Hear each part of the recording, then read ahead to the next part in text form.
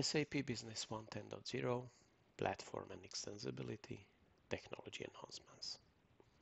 We would like to introduce a couple of technology-based enhancements, like the Microsoft Office 365, the 64-bit supportability only, the SAP HANA 2.0 platform adoption, the service layer configuration user interface, the SUSE Linux Enterprise 15 support, Let's have a look to the first feature, which is the Microsoft Office 365. The Office and the OneDrive integration allows for the document layouts to be exported into the Microsoft Excel and Word. The report and the document layouts management is simplified and it uploads the export directly into the OneDrive as well. The next enhancement had been made in the bitness support. The 32-bit Windows operating system support is ending. In line with this change, we are moving away from the 32-bit components and with the 32-bit add-ons.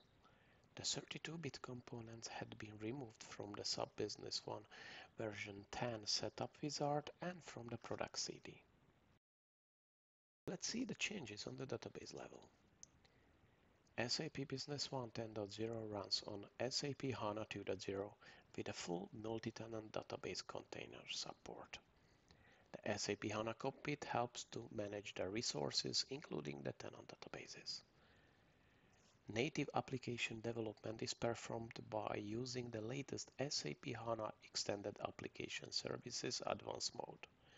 You can develop your own application using the SAP UI5 technology directly in the local web IDE for SAP HANA.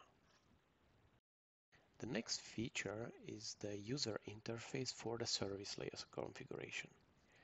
The SAP Business One service layer configuration had been extended and now it is possible to use a user interface in order to set up the service.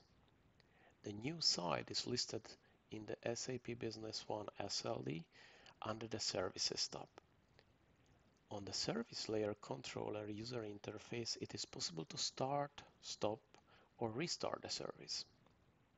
The new user interface displays the versioning information, CPU and memory utilization, and contains the node management.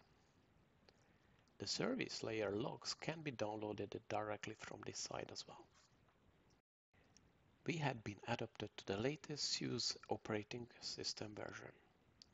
The SUSE Linux Enterprise Server 15 is the supported operating system for the SAP Business One 10.0 version for SAP HANA. It is a multi-model order operating system which is supporting the physical, virtual, cloud enablement or software-defined environments. In Modular Plus architecture, everything is a module, so you can get product updates, patches, more frequently. Thank you.